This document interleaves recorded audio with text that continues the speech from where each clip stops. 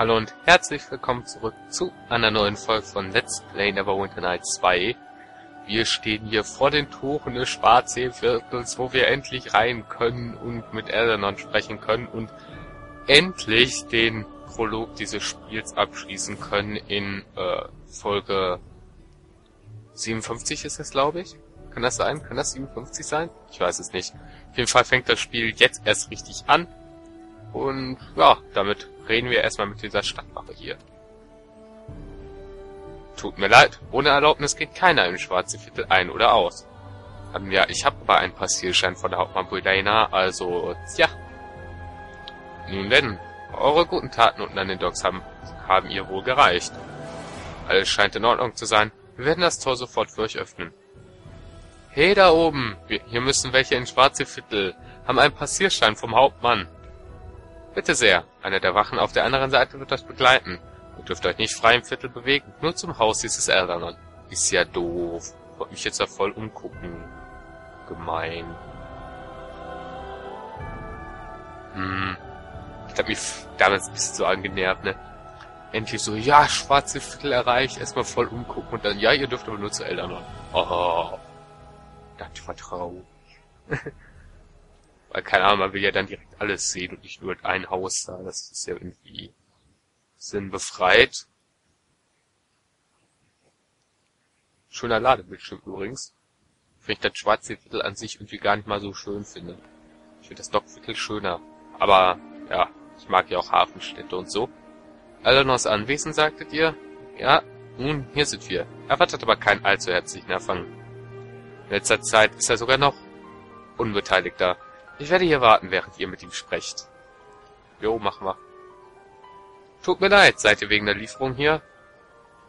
Ähm, nein, aber ich bin von der Stadtwache und ich möchte euch ein paar Fragen stellen. Die Wache? Weswegen seid ihr hier? Ist jemand in Schwierigkeiten? Ähm, ich brauche eure Hilfe bei meinen Ermittlungen. Wirklich?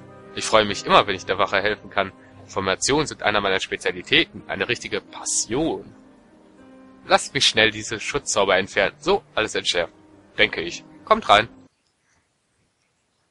Eldanon ist einer der genialsten Charaktere dieses Spiels. Ihr werdet bald feststellen, warum.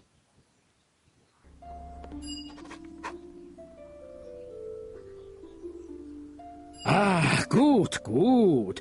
Bitte verzeiht meine eher rüden Fragen an der Tür. Ich würde mich der Stadtwache niemals absichtlich in den Weg stellen. Es sei denn, man könnte sonst nirgendwo stehen. Aber das wird wohl nie passieren, wenn uns keine Flut trifft. Ich muss zugeben, ich lebe normalerweise eher zurückgezogen. Nicht, dass ich keine Leute mag, wohlgemerkt. Im Gegenteil. Wegen des ganzen Ärgers in letzter Zeit, ein Mörder auf freiem Fuß, junge Adlige, die überall herumschleichen, musste ich mein Haus mit Schutzzaubern belegen. Herumschleichende Adlige? Ah ja, seit kurzem sehe ich öfter Gestalten im Dunkeln herumschleichen, und zwar nicht mit guten Absichten. Es ist offensichtlich, was sie wollen. Und was wollen sie? Na, mein Haus natürlich. Als ob ich jemals verkaufen würde. Lächerlich. Eher gebe ich mein linkes Auge her, obwohl das rechte ab und zu Probleme macht. Da könnte ich mich also leicht davon trennen. Oh. Na gut. Jedenfalls, als ich mich in Niewinter niederließ, stand meine bescheidene Unterkunft am Rand des Schwarzseeviertels, direkt neben meilenweiter unberührter Wildnis. Jetzt, da Niewinter wieder aufgebaut wird, nach dieser ganzen Seuchengeschichte, befindet sich mein Anwesen plötzlich direkt auf der Hauptdurchfahrtsstraße des reichen Teils von Niewinter. Alle Adligen wollen in Schwarzsee wohnen, aber es gibt keinen Platz mehr. Also versuchen sie seit kurzem, mich zum Verkauf meines Grundstücks zu überreden. Und was unternehmen Sie genau, um euch hier rauszubekommen? Nee, das ist eher besser. Seid ihr sicher, dass diese Gestalten, die ihr seht, Adlige sind? Natürlich. Wer sonst sollte um ein Haus herumschleichen? Nun, äh, gegenwärtige Gesellschaft ausgenommen. Oh, richtig, ihr seid nicht ohne Grund hier, oder? Vor einigen Tagen? Sind bestimmt schon einen Monat unterwegs. Also die Reise von hier bis nach Niewinter, die hat bestimmt, äh, keine Ahnung, ein bis zwei Wochen gedauert. Ja, zwei. Dann die Reise zum alten Eulenbrunnen hin hat bestimmt auch wieder eine Woche gedauert. Dann wieder zurück, noch eine Woche. Also wir müssten eigentlich schon mindestens einen Monat unterwegs sein oder vielleicht sogar mehrere. Deswegen, ähm, ja, das ist eine lange Geschichte. Großer Tirr, was für eine Geschichte. Schon bei eurer Ankunft war mir klar, dass ich euch gerne begegnen würde. Hätte ich es doch bei unserer ersten Begrüßung gemerkt, das hätte Zeit gespart. Dann seid ihr hier genau richtig. Vor einiger Zeit habe ich einen Splitter gefunden, welcher ähnliche Eigenschaften aufweist wie die euren. Ich habe den Splitter allen möglichen Untersuchungen unterzogen, ohne dabei viel zu erfahren. Allerdings hatte ich nie ein Vergleichsobjekt. Wenn ihr Antworten sucht, kann ich einige Untersuchungen an euren Splittern durchführen. Ich habe noch genügend Quecksilber dafür. Ja, sicher. Deswegen sind wir ja hier. Ah, hab Dank. Ich bin gleich damit zurück.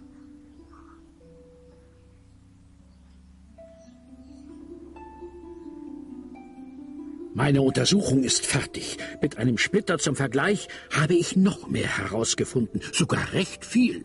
Scheinbar enthalten diese Splitter verborgene magische Energie, entweder aus einer Verzauberung, als das Schwert noch heil war, oder aufgrund der Art, wie es zerstört wurde. Außerdem schwingen die Splitter, wenn sie zusammengebracht werden, was ihre magische Energie entsprechend verstärkt. Diese Splitter sind Teile eines zerbrochenen Silberschwertes der Githyenki. Kennt ihr die Githyenki? Ähm, eigentlich ja, aber ich würde trotzdem gerne wissen, was ihr über sie wisst. Die Githyenki sind Wesen, die auf der Astralebene verweilen, angeführt von Vlakith, der Königin der Leichname. Keine nette Frau, wie ich höre. Vor Ewigkeiten waren die Vorfahren der Githyenki menschlich und bewohnten eine andere Existenzebene, wo sie von den Elifiden, den Gedankenschindern, versklavt wurden. Dann kam Gith. Außerhalb der Githyenki ist nur wenig von ihr bekannt, aber sie führte die Rebellion zur Befreiung ihres Volkes an und wird als Volksheldin und Gründerin der Githyenki angesehen. Die Silberschwerter der Githyenki werden zu dem Zweck geschmiedet, das silberne Band zu zertrennen, das die geistige Projektion eines Astralreisenden mit seinem körperlichen Gegenstück verbindet. Sie sehen wie gewöhnliche Githyenki-Waffen aus, bis sie im Kampf eingesetzt werden. Dann werden sie zu einer Säule aus fließender, schimmernder Flüssigkeit. Wirklich beeindruckend, wie ich hörte. Ich glaube, dass die Splitter, die ihr gefunden habt, Teile eines solchen Silberschwertes sind. Vermutlich sind die Githyenki in Faerun, um die Splitter zurückzuerlangen. Entschuldige, wenn ich hier gerade wieder eine Parallele zu Drakensang ziehe, aber Eleanor erinnert mich richtig an den äh, Erzmagier Raikorium, weil die sind genau so verwirrt und schusselig, aber auch genauso genial. Muss man sagen. Äh, hm. ja, ich habe schon gegen Githyanki gekämpft, aber keine ihrer Waffe die von euch geschilderten Eigenschaften. Gewöhnliche Githyanki besitzen keine Silberschwerter. Diese Schwerter sind selten und äußerst wertvoll. Die Königin der Leichname verleiht sie nur den größten Githyenki-Rittern. Sollte eines ihrer Silberschwerter jemals in die Hände eines Nicht-Githyenki fallen, werden sie nichts unversucht lassen, um es zurückzubekommen. Super. Äh, verlieren die Githyenki denn öfter ihre Silberschwerter? Hierfür gibt es eine besondere Gruppe bei den Githyenki, die Schwertjäger, deren einzige Aufgabe darin besteht, alle verlorenen Schwerter aufzuspüren und deren Diebe zu bestrafen. Aber warum sollten Sie sich denn bitte für ein zerbrochenes Schwert interessieren? Soweit ich weiß, ist nie zuvor eines zerbrochen. Vielleicht interessieren sich die Githyenki ebenso dafür, wie es zerbrochen ist, wie für den Wiedererhalt der Teile. Hm. Gibt's denn sonst noch etwas, das ihr mir über die Splitter sagen könnt? Ich wünschte, ich wüsste mehr. Ammon Jarrow war der wahre Fachmann. Er besaß sogar solch ein Silberschwert. Und wer ist Ammon Jarrow? Ammon Oh, vor Jahrzehnten war er mal nie Winters Hofmagier. Ich habe ihn ein paar Mal getroffen. Ein netter Bursche. Leicht zerstreut. Neigte dazu, vom Thema abzukommen. Ammon erinnerte mich an meinen alten Mentor Meister Grala. Er hatte eine riesige Sammlung lauter exotischer Vögel, haben ganz schön Lärm gemacht. Ihr wisst schon, zwitschern und kreischen. Ähm, ich glaube, er verwechselt Ammon mit sich selbst. Ähm,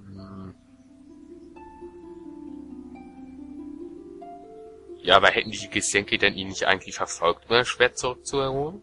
Hm, vermutlich. Aber falls sie Ammon verfolgten, fanden sie ihn nie. So unauffällig wie er lebte, so unbemerkt ist er auch verstorben.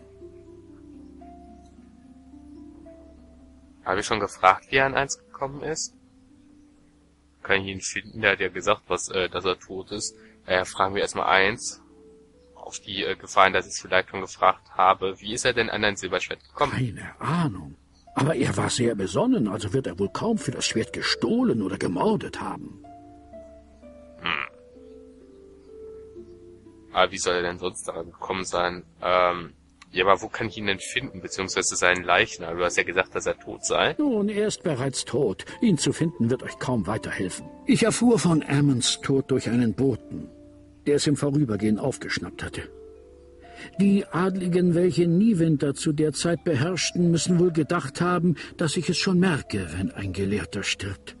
Denn sie erwähnten es mir gegenüber nicht. Später erfuhr ich, dass es teils auf Geheiß von Ammons Familie geschah, und weil es dem Wunsch des Verstorbenen entsprach, das Leben unauffällig zu betreten und ebenso zu verlassen. Traurige Zeiten, wenn der Tod eines bescheidenen Gelehrten und Hofmagiers kaum als Randnotiz in die Geschichte eingeht. Ich frage mich, wird man sich an mich erinnern, wenn ich nicht mehr bin? Natürlich, wir sind ja noch hier und wir sind jetzt mindestens vier Leute. Dann haben wir noch äh, weitere Leute bei uns in der Kneipe rumstehen. Das sind schon einige. Ja, aber ihr werdet sicher nicht in Vergessenheit geraten, wie ich gerade erklärt habe. Sehr höflich von euch. Aber im Gegensatz zu Ammon hinterlasse ich keine Familie. Konnte denn Ammon Familie Zugang zu weiteren Teilen seiner Forschung haben? Ich denke schon, aber die Jarrow-Familie soll nach dem Kriegsende und nach Ammon Jarrows Tod von Niewinter fortgezogen sein. Ich habe keine Ahnung, wo sie sich zurzeit aufhalten könnte. Das könnt ihr mir vom Krieg berichten. Da haben wir, da konnte uns bis jetzt keiner was genaueres darüber sagen. Ich glaube nicht, dass äh, Eldernon da jetzt auch mehr weiß, wie jetzt welche, die wirklich dran beteiligt waren. Ähm, also kann ich weder mit Jarrow noch mit seiner Familie sprechen. Irgendwelche Vorschläge? Nun, da wäre noch Jarrows Zuflucht. Dort könntet ihr es ja versuchen. Und wo kann ich diese Zuflucht finden? Ich vermute, dass der genaue Ort in den Niewinter-Archiven in Schwarzsee verzeichnet ist. Üblicherweise werden die Aufzeichnungen der adligen Familien in den gesicherten Archiven aufbewahrt. Sie gestatten es aber nicht jedem, sie einzusehen. Ich habe darum ersucht, die gesicherten Archive einsehen zu dürfen, aber es wurde mir verwehrt, weil, na ja, weil es ein Missverständnis wegen ein paar verlegter Bücher gab, die irgendwie in meinen Besitz gelangt sind. ja, und wie erhalte ich denn Zugang zu den gesicherten Archiven? Da weißt du doch bestimmt einen Weg. Normalerweise müsstet ihr um Zugang ersuchen, was einige Wochen in Anspruch nehmen kann.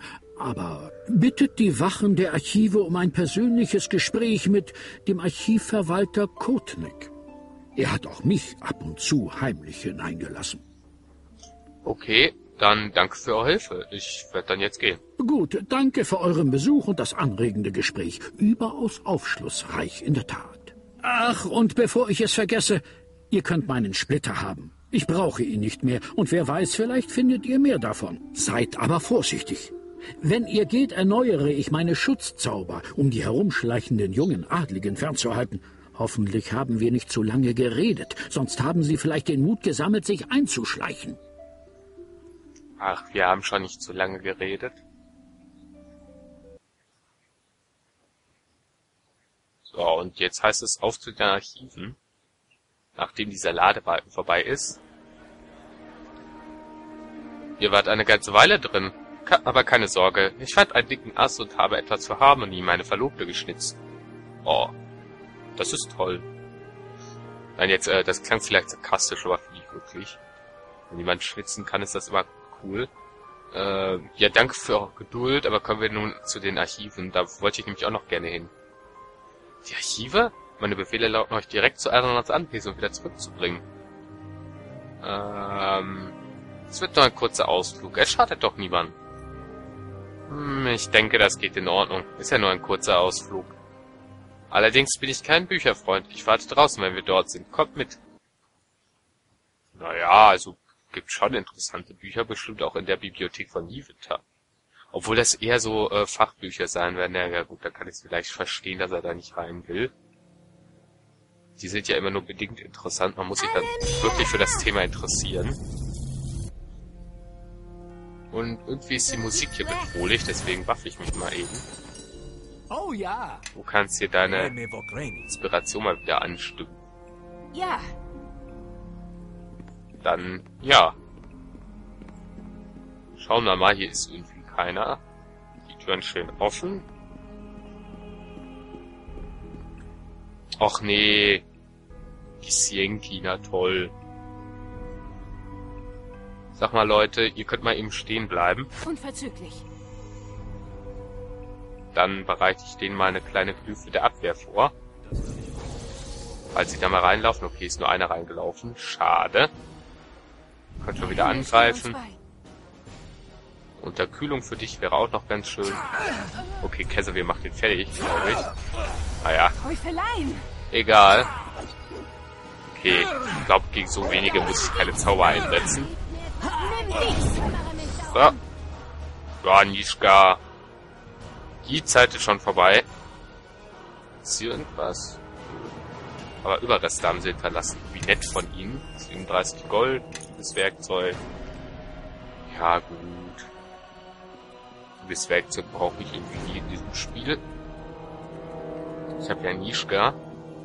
Ich glaube noch nie so lange irgendwie standardhaft in meiner Party drin hatte. Ich sag doch gerade, gegen so wenige brauche ich keine Zauber, dann werde ich auch keinen einsetzen. Ich will lieber auf, wenn ich gegen Gruppen kämpfe. Grabner denkt scheinbar genauso, weil der setzt nämlich auch keine ein. Na komm. Nimm das! Hau ihn kaputt. Oh, provoziert hat er uns. Nicht sehr nett. Funkelnde Halskette. Hinterlässt du mir auch noch irgendwas? Ja. Ein Phenalope, falls ich das so richtig ausspreche. Vielleicht ist es auch ein stummes Haar. Ja, Nischka macht die Tür wieder auf. So. Aber wieso sind hier Gisjenki? Das irritiert mich ein wenig. Hallo? Und wer am Leben? Hä? Was? Wo? Wo kommt einer? Da. Da einigermaßen gute Kameraperspektive. So. Wer ist da? Antwortet. Ich bin hier, um zu helfen. Was ist hier los? Bestimmt. Oh, Dank sei den Göttern. Ich hörte Schrei und Kampfgeräusche und fürchtete schon, dass das Böse, welches das Archiv überfällt, mich auffinden würde. Ich benötige Informationen über Eamon Jarrow, deswegen bin ich hier. Jarrow? Die Informationen wären höchstens in der Schatzkammer versteckt. Viele Geheimnisse Nivetter sind dort verwahrt, und sie sind nur für unsere Augen bestimmt. Hier steht mehr auf dem Spiel als nur Niewinter. Ich brauche diese Information. Also gut, wenn ihr schwört, Niewinter zu beschützen und seine Geheimnisse zu bewahren, werde ich euch helfen. Ja, ja, ich schwör's ja schon, Niewinter zu beschützen und seine Geheimnisse zu bewahren. Unser Anführer spricht die Wahrheit. Auch ich wiederhole den Schwur. Schön, Casimir, schön, dass du das machst. Also gut, die Marodeure suchen wahrscheinlich auch nach einem Zugang zur Schatzkammer. Müsst vier Podeste im Archiv finden. Auf jedem müssen befinden sich Pergamente und eine Feder, die nur durch den Schleier eines, Schleier eines Verwalters gesehen werden dürfen. Jeder Feder schreibt eine Frage über ein Buch auf das Pergament. Magische Federn? Ich frage mich, ob ich mir eine borgen könnte. Nur für eine Weile. Die Feder und das Pergament nennen euch das Buch, auf welches sich ihre Frage bezieht. Und sie fragen euch nach der Antwort. Beantwortet alle vier richtig und die Schatzkammer öffnet sich. Ähm... Na schon, gibt's dazu etwas, das ich wissen muss? Findet den Leichnam eines anderen Verwalters, nehmt seinen Schleier und benutzt ihn, um die Podeste zu finden. Jetzt muss ich einen Weg hier rausfinden. Viel, äh, viel Glück. Ja, aber warte einen Moment, wieso gibst du mir denn nicht einfach deinen Schleier? Ich kann euch meinen Schleier nicht geben. Ich bin verpflichtet, ihn zu tragen, bis ich die Archive verlasse. Oder bis ich tot bin. Es gibt keine Ausnahmen. Dann werde ich euch töten und ihn an mich nehmen. Ja, das wäre viel zu übertrieben. Ja, aber danke für eure Hilfe. Ich bringe dich nicht wegen so einem dummen Schleier um. Sehr überschaubar hier. Und da ist ja schon die Leiche. Ich habe das Talent manchmal so dermaßen an dieser Leiche vorbeizulaufen, das glaubt man gar nicht. So, den Schleier mal eben mitgenommen. Der zaubert schon wieder irgendwer, das gefällt mir gar nicht. Kriegst jetzt richtig eine drauf. Okay. Vielleicht zauber ich auch mal einfach irgendwie eben kriege ich das irgendwie... Ah, das könnte mich auch treffen. Aber das probiere ich mal ein. Huch, das hat mich denn da getroffen. So, komm. Ja, das war gut. Das hat Schaden gemacht. Das finde ich toll. So, den hat's erledigt. Klingenwesen wird bestimmt auch nicht lange überleben. Ist da auch nicht.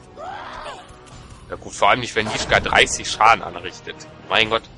Diese Schurken sollte man nicht unterschätzen. Sie sind zwar absolut nutzlos gegen Untote, Aber gegen äh, humanoide Wesen, beziehungsweise insgesamt gegen lebende Lebewesen, ja, macht Sinn, sind die Schurken einfach äh, mit die beste Klasse einfach. Solange ihnen hinterhält gar nicht gelingen. Weil dafür gibt's ja auch ein Talent Finte, was auch sehr gut ist. Frage ist, da kann ich Nishka eigentlich gar nicht geben, weil Nishka überhaupt nicht bluffen kann. Ne? Das hat sie sich überhaupt gar nicht beigebracht. Braucht man ja für dieses Talent. Ah, ärgerlich. Müsste ich ihr dann mal geben. Falls ich ihr dieses Talent gebe, was ja bestimmt noch einiger Zeit dauern wird. Weil dann kann sie auch im Kampfgeschehen heraus äh, eine Runde dann einfach nicht angreifen. Einen Wurf auf Bluffen schaffen muss sie dann. Und dann kann beim nächsten äh, Angriff einen hinterhältigen Treffer landen. Das ist eine sehr nützliche Fähigkeit. So kann man einen Schurken auch spielen, anstatt ihn immer zu tarnen. Das habe ich auch gemacht mit meinem ersten Schurken. Okay. Da ist eine geheime Wand, an die komme ich noch nicht. Dafür muss ich den Schleier aufsetzen. Aber der Schleier, der gibt mir minus 4 auf Geschicklichkeit und minus 2 auf die Rüstung. Das heißt, ich hätte 34, äh, nur noch 30 anstatt 34. Okay, das geht eigentlich noch. Dann lasse ich den schon mal auf. Jetzt komme ich hier durch die geheime Tür. Da ist eine Truhe, an die, Nisch an die Nischka mal ran kann. Kannst du mal eben enttarnen. Aber mal in den Suchmodus gehen, weil ich glaube, ja, da sind überall Fallen dran. Und bitte schaff es, sie zu entschärfen. Das finde ich richtig nett von dir. Ich weiß gar nicht. Ich glaube, in manchen dieser Truhen ist voll nützliches Zeug drin und manchen ist da rein zu Schrott drin. Buch aller Elemente und ein paar Schriftrollen und Zauberstäbe. Ja, Stab der magischen Geschosse, Buch aller Elemente. Auf flammende Waffe plus 1 bis 6 Feuerschaden. Wie überliegende Rüstung dünne Feueressenz. Naja, naja. Ich finde in Mask of the Betrayer ist das Verzaubern wesentlich einfacher. Weil da auch einfacher an diese Sensen kommt und da man keine anderen Gegenstände immer verbraucht. Macht das auch Spaß. Hier in, äh, im Hauptspiel benutze ich das nie. Gegen der Annahme eines flachen Farron. Alles die Bücher, die ich brauche, werden für die Rätsel. Ja, komm. Ischka. Wie kann ich euch helfen? Nächste Tour für dich. Sind irgendwie kaum Geschenke. Ich hatte das irgendwie voller in Erinnerung. So, einmal aufgemacht. Alles war eine große Verzauberung des Geistes und äh, Kampfrausch. Ja, Kampfrausch, das ist ein Zauber, den ich Baden gerne gebe, weil er irgendwie cool ist. Weil wir dadurch alle in den Kampfrausch von einem Barbaren versetzt werden. Achso, ich habe das eine Ding gar nicht mehr. Versetzt werden und, ähm, Dingens. Ja, aber danach, wenn der endet, kriegen wir nicht den Abzug, den ein, äh, Barbar bekommen würde. Können wir eben hier so eine kritische Wunde heilen, wäre vielleicht ein bisschen übertrieben, kann mal das hier eben zaubern. Ja, komm. Bist du getarnt? Ja, bist du. Überreste, die nehme ich auch mal eben mit gegen Gift. Boah. Ja. Elefant Geheimschrift. Dann die Geheimtüre. Eine Truhe. Wie kann ich euch helfen? Ischka, dein, dein Job. Wie war bis jetzt in den Truhen nur Käse drin? Ich hoffe, in der ist mal was Cooles drin. Huch, wieder in den Suchmodus gehen. Oh ja. Okay, sie findet scheinbar die Falle nicht. Ach, weil da überhaupt keine dran ist. Feueropal. Ja. Nichts Tolles dabei bis jetzt. War das schon alles hier? Da geht die Frageräume rein, glaube ich. Hm. Da ist Sailor Moon Case. Was? Sailor Moon? Nein, nicht Sailor Moon. Der bemerkt uns gar nicht. Na gut, ich habe ihn auch nicht bemerkt. Hier verpasse ich meine kritische Wunde. 23 Schaden, sehr schön. Fühle ich mich stark, wenn ich Leuten Schaden zufüge. Ja komm, die schaffst du ja wohl. Ja, Timer, Timer ist gut. Ist gut. Den Kampf hier, der ist ja gleich zu Ende. Danach geht's ja weiter. Mal, was macht. Ach so, das Eisenhorn. Ja, komm. Den erledigt wir schon. Okay, er hat ihn schon erledigt. Also Nishgard ist genial. ja, und mit diesem ruhmreichen Kampf verabschiede ich mich aus dieser Folge und sage Tschüss, bis zum nächsten Mal, wenn es wieder als Let's Play Neverwinter 2 und wir sehen ein bisschen aus wie ein Pirat. Aber egal.